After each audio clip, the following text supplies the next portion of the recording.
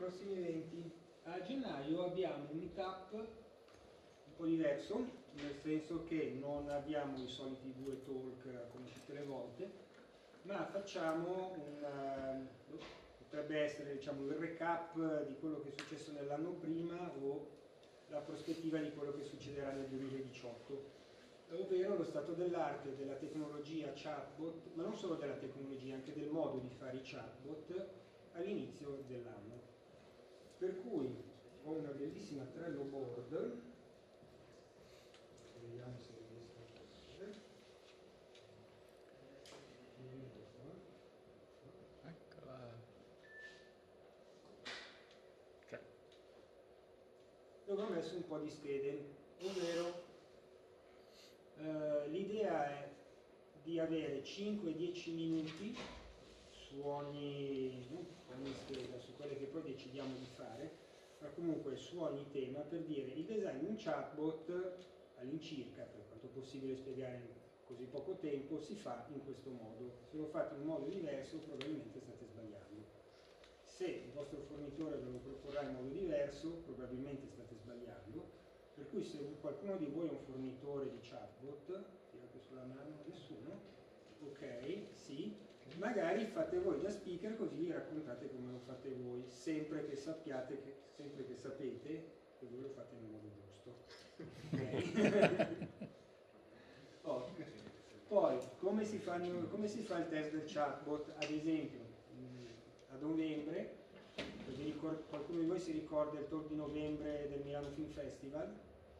sì, lui se lo ricorda, e ci avevano raccontato come si faceva un test, perché mentre loro hanno provato a darlo in mano a delle persone hanno scoperto che ah, ci siamo dimenticati che si può salutare il chatbot anche non nel momento in cui avevamo pensato noi e succedeva tutta una serie di cose brutte a poi dopo hanno posto in video e ci hanno raccontato come si fa. Quindi, una, una, piccola cosa di quel Mockup che è una cosa che mi piace molto e lì ho messo addirittura il nome dell'azienda che forse è l'unica che conosco che fa uno strumento di Mockup ed è pure italiana quindi vi faccio pubblicità volentieri. Ehm, come si fa sviluppo? E ci sono tutta una serie quasi infinita di eh, eh, di piattaforme per fare chatbot, tool di sviluppo rapido, se si vuole lo si può anche creare da zero programmandoselo in qualsiasi linguaggio si voglia, ci sono editor, riconoscimento di linguaggio naturale fino a caso, per fare la delivery, so, si può usare Messenger, Telegram, eccetera, ci sono vari di analitiche, delle piattaforme maggiori e altri che ci si può, cioè, terze parti, cose che si possono Eh, e poi tutta una cosa di questo genere.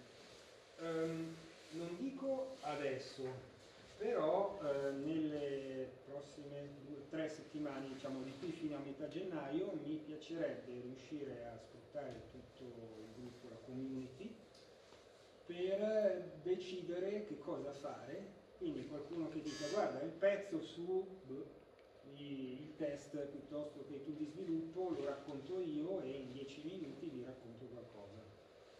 Per esempio questa sera uno dei talk è proprio una piattaforma di sviluppo, quindi un po' una preview, però appunto non è, non è l'unica.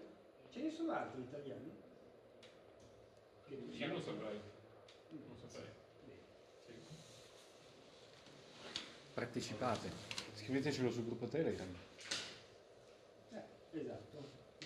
Quello comunque come canale.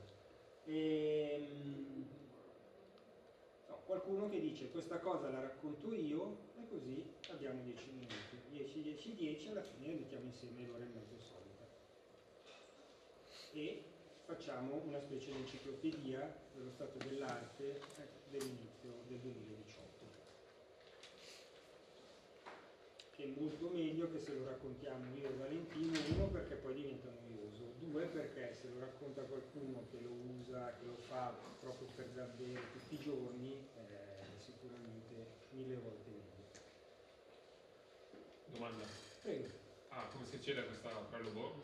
Eh, poi dopo vedo di condividerla sul gruppo, se Sul si gruppo può Telegram. condividere, sì, la metterò pubblica, condiv- metterò l'URL sul gruppo, mando anche un messaggio tramite Sì. Meetup come